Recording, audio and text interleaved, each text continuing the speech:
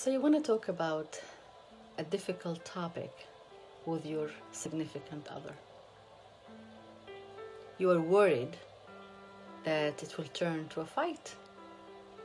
So, what do you do then?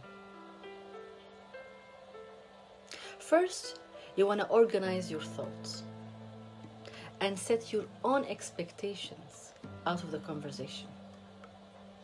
Regulate your emotions and then come and ask them if this is a good time to talk about a difficult topic.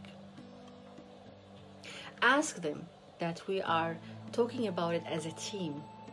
No blame, no attacking.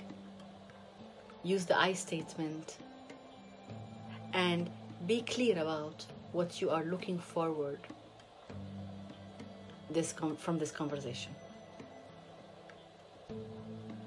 You want to be brief, informative. You want to tell them how you feel.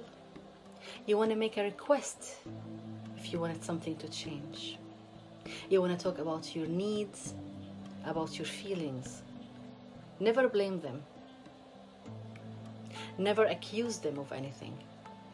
Try to focus on yourself to get the result you want and to strengthen the bond between the two of you.